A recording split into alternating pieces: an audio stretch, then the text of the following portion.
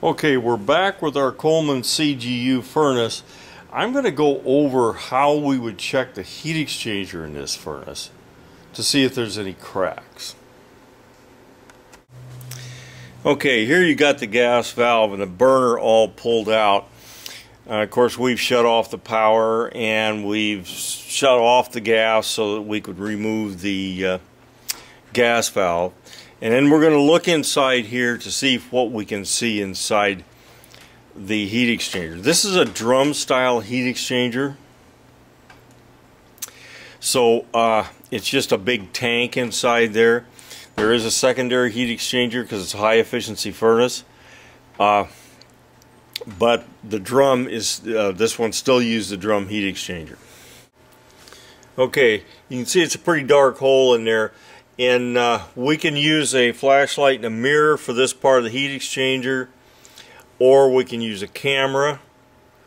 Uh, cameras are nice the pictures aren't all that great but uh, they have their own light source and so on. So let's see what we can uh, come up with for the inside of this heat exchanger. Okay here we're using a camera and you can see the camera is kind of hard to use and the, and the pictures aren't all that great but uh, looking for the on the seams and the like to see if you can find anything wrong, any uh, uh, stress cracks or anything like that. Uh, also, on this furnace, there's a baffle on top. We'll see that in a minute. Okay, you can see there's where that baffle is up there and it's mounted to the uh, side. Sometimes that uh, baffle actually comes loose and uh, it'll hang down. There's really not much you can do about it, but uh, but throw away the heat exchanger or the furnace, whichever makes sense. So uh, you're going to inspect all that as best you can. Okay, here's a look at this heat exchanger. There's your drum. You've got the burner tube down below and the exit into the secondary heat exchanger which is these two uh, clamshells. Uh, there's not a lot of ways to check these except see now I don't have any ductwork in this thing. This thing's just a mule so uh, there's no ductwork on it. It's just a so this thing doesn't have any ductwork so I can see the the heat exchanger on it. This is just a testing unit, a mule I use to uh, test how these furnaces work. So, uh, a little hard to tell. If you can get a, a camera down there with the ductwork on, you might be able to see something. But you can see the problems you could have with this uh, with this furnace trying to be sure that heat exchanger is good. So you can see, you can inspect the heat exchanger in these things, but you can't inspect all of it.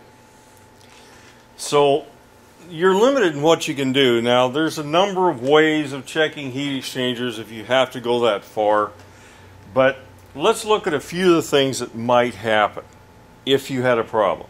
Number one, you should be carrying a Monoxor um, CO detector in your truck and you would test the air coming straight off the heat exchanger. Test it in several spots in the ductwork. Put a hole in ductwork, check several spots there uh, with the fan on and with the fan off and uh, see if you detect any CO. If you detect CO and there's no other uh, CO source in the house, then you're going to have to see if you can find out what's going on because you have a problem. If you detect, detect CO, you have a problem. That's all there is to it. So, let's say you have a suspicion that it's bad. Now, what are the things that should shut it off? Because these things actually do shut themselves off if they have a bad enough problem. It's not perfect. They will still fail. However, pressure switch not making. That's one of them. Uh, I would be checking my pressure switch. If you know what pressure it should be reading, uh, sometimes you don't know on these. Uh, they don't like to give the that information out in a lot of the literature. Uh, but if you're having a pressure switch problem, your vents are clear and everything like that, that's an issue. Down here, okay, right here you have a manual reset limit. That's a rollout switch. If that rollout switch keeps kicking off. If the limit switches kick off, now this one, an odd place of limits for this thing. The limits are right back here. Fan switch and limit switch is right back there. If the limit switch kicks on right after the fan comes on, or even before the fan comes on, that's a big indication of uh, a cracked heat exchanger. Other than that, you're looking for how the flame, does the flame change? You'll be watching the flame. Uh, you'll be going down here with the burner in, and you'll be watching that flame when the fan comes on to be sure it's not wavering about changing at all when the fan comes on. Okay, uh, that's about it on checking the heat exchangers and these things. They are pretty tough to check, and uh, you're not always going to get uh, satisfaction. The number one thing that you want to do is do a, do a CO test. I would do a CO test in any service I did in any furnace, especially if I'm going to replace parts.